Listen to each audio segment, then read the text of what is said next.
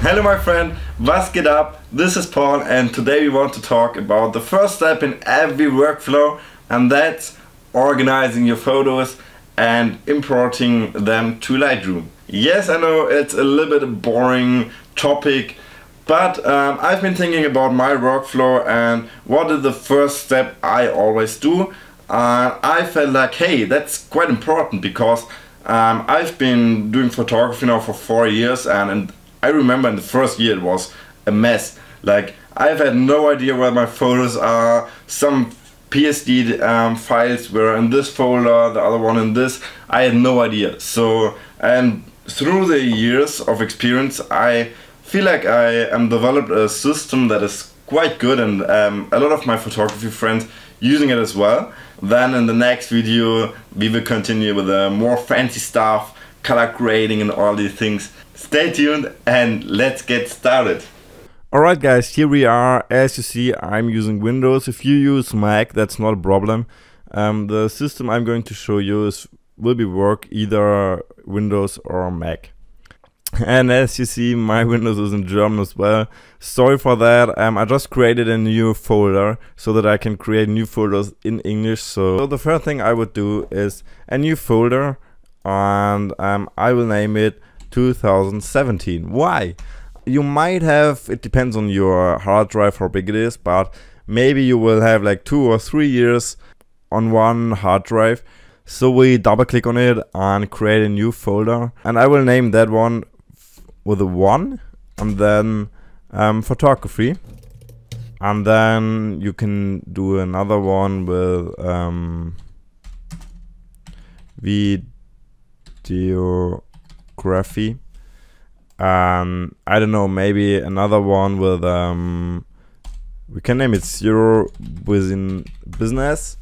Um, yeah, that's it. These are my three basic folders, and then maybe you can do another one with um, resources. Yeah, let's get started with these. Why do I use numbers? The reason for that is if you use numbers, um, Windows or I think also Mac will keep them in the order. That means resources is always on the same place, doesn't matter how much new photos you add, and photography is always on the same spot. When you're entering the folder, you already know where photography is.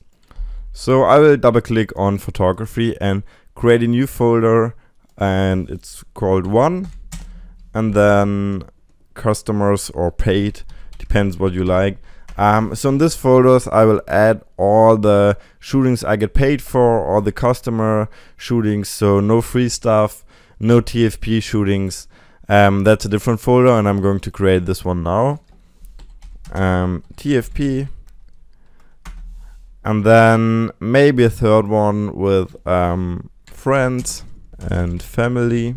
And you can add as much photos as you want. I will start with TFP and here we'll create folders with the names of the model.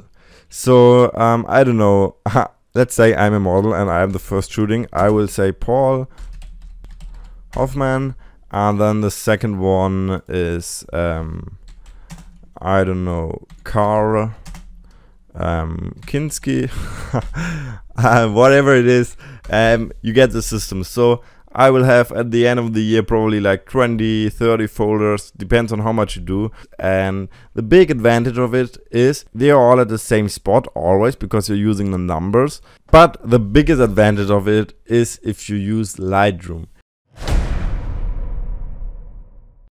Alright guys, I just added two more folders with um, some pictures in it of my two last shootings and now we will get start with Lightroom. So uh, if you open Lightroom the first time, it will look like that.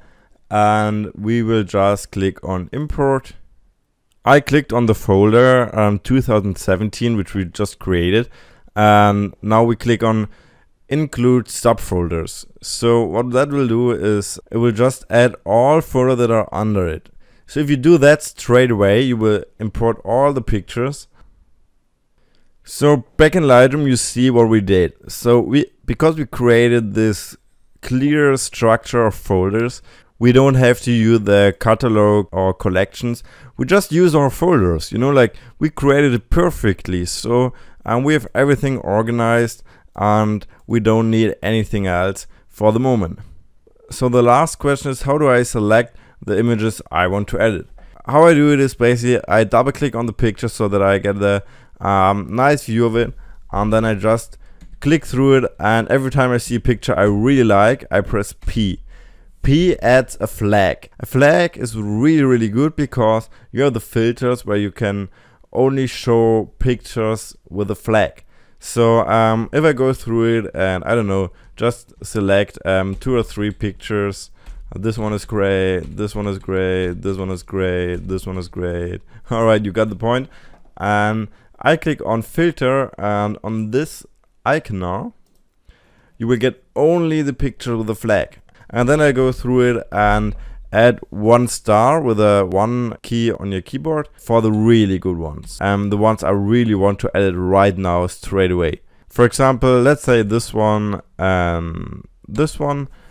And now we can just click on this star and we will get our two pictures we just selected and normally for me after shooting it's like maybe five pictures with one star so I'm going to edit five pictures. Um, sometimes it's less, sometimes it's more, but there's no real strategy behind which picture is good or which isn't.